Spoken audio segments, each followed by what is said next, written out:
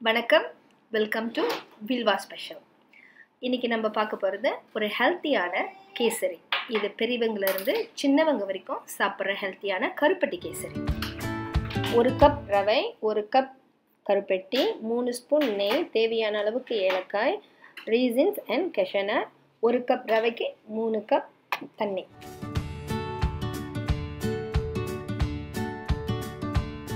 இந்த பாத்திரத்தில் ரவையை கொட்டி த்ரீ டு ஃபோர் மினிட்ஸ் நல்லா ப்ரௌன் ஆகிற வரைக்கும் ஸ்லோ ஃப்ளேமில் வறுத்துக்கலாம்.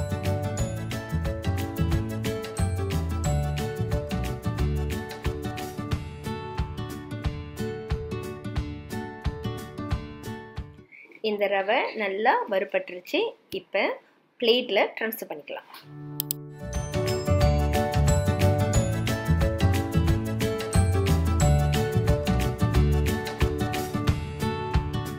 ஒரு ஸ்பூன் நெய் விட்டு கெஜுனா ரேசினையும் நல்லா வறுத்துக்கலாம்.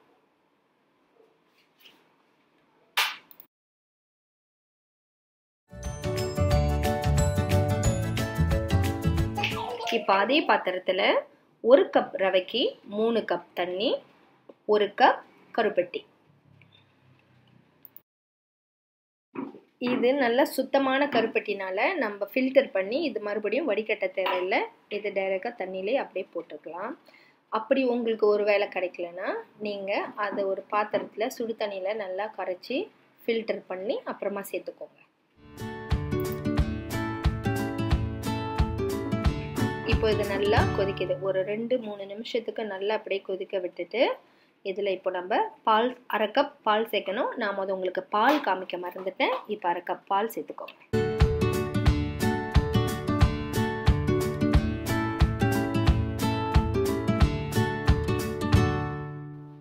இப்போ பால் சேர்த்த பிறகு இது ரொம்ப நேரம் நம்ம கொதிக்க விட வேணாம். இது ஒரு கொதி வந்த பிறகு நம்ம முத வறுத்து வச்ச ரவையை இதோட சேர்த்து நல்லா கிளறிக்கலாம்.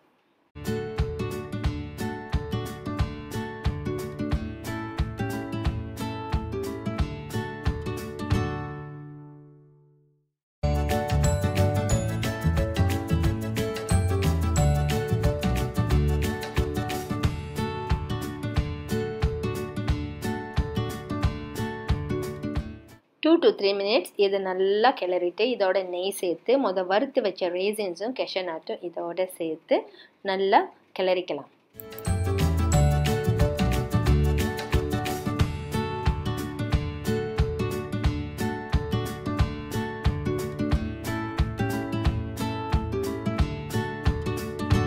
இப்போ இதை சட்டியில் ஒட்டாமல் நல்லா கிளறிட்டு ஸ்டோவை ஆஃப் பண்ணிக்கலாம்.